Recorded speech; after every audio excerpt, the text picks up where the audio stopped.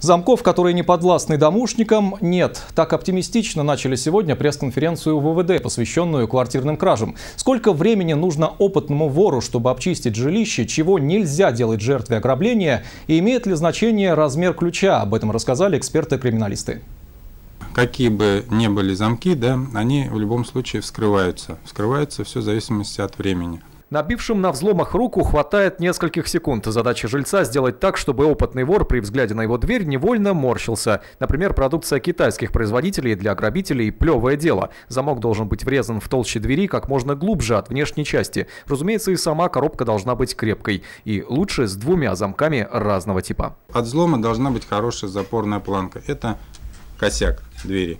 То есть замок стоит на двери, да? Сувальды выходит у него в косяк двери котором находится запорная планка. Запорная планка. Вот эта запорная планка и сам косяк, он должен тоже быть достаточно крепкий. Ну а если все же случилась беда, вы пришли домой и обнаружили вскрытую дверь, в квартиру не заходите. Прямо с порога вызывайте полицию.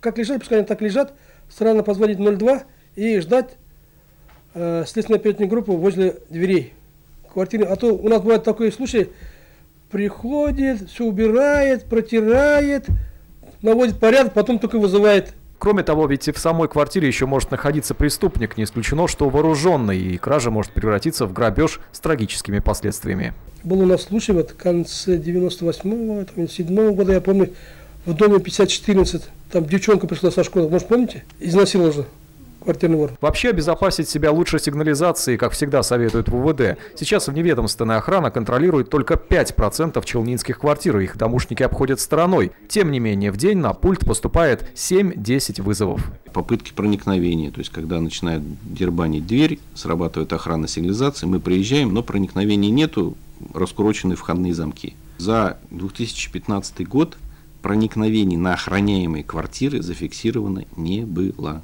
Большое количество краж наблюдается в районах новостроек. Там даже на шум от взлома никто внимания не обратит. Соседей никто не знает. Движение, естественно, там кто-то что-то выгружает, кто-то что-то загружает никто внимания не обращает на это. Ну, потому что идет заезд-выезд в вновь построенный дом. Скоро Новый год, когда хозяева квартир в гостях или по пьяной лавочке приводят домой незнакомцев с улицы, а на утро остаются без техники и ценных вещей. В полиции говорят, что кражи или грабежи обязательно будут. Каждый год в январские праздники фиксируют по 5-6 случаев. Евгений Прайнтов, Дмитрий Кравченко, РЕН-ТВ, Набережные Челны.